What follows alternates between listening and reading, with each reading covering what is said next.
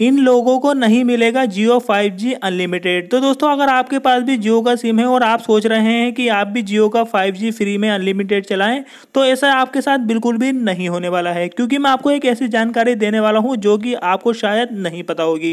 तो अगर आप भी अपने जियो के फोर सिम में फाइव चलाना चाहते हैं तो इसके लिए कुछ कंडीशन आपको दी गई है। दोस्तों, कुछ लोगों के पास जियो का फाइव स्मार्टफ़ोन भी है, लेकिन फिर भी वो जियो वेलकम ऑफ़र का लाभ नहीं उठा पा रहे हैं। तो इस वीडियो में मैं आपको बताने वाला हूँ एक ऐसी जानकारी, जिसको देखने के बाद आपको पता चल जाएगा कि आप जियो का फाइव जी क्यों यूज़ नहीं कर पा रहे हैं।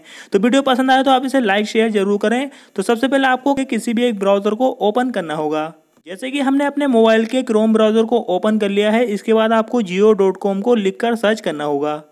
अब जैसे कि हमारे स्मार्टफ़ोन में जियो डॉट कॉम ओपन हो चुकी है, आपको थोड़ा नीचे जाना होगा। नीचे जाने के बाद आपको यहाँ पर जियो ट्रू 5G लाइव लिखा हुआ दिखाई देगा।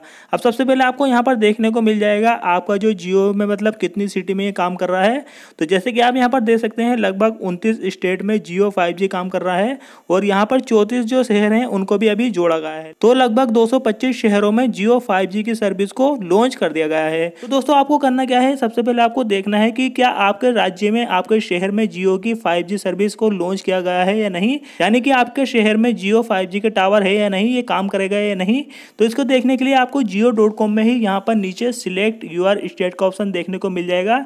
तो सिंपली आपको इस पर ही क्लिक करना है। इस पर क्लिक करने के बाद सबसे पहले आपको अपने राज्य को सिलेक्ट करना होगा। जैसे कि मैं एग्ज़ाम्पल के लिए किसी भी एक राज्य को ले लेता हूँ तो मैं यहाँ पर जैसे कि उत्तर प्रदेश वाले पर क्लिक करूँगा।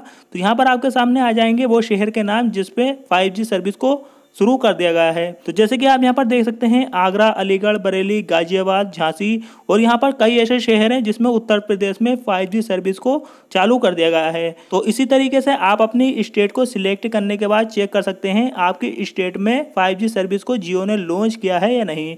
तो दोस्तों, अगर आपके शहर में 5G का टावर नहीं है 5G की सर्विस लॉन्च नहीं की गई है तो फिर कुछ ही समय बाद आपके शहर में भी इसको लॉन्च कर दिया जाएगा।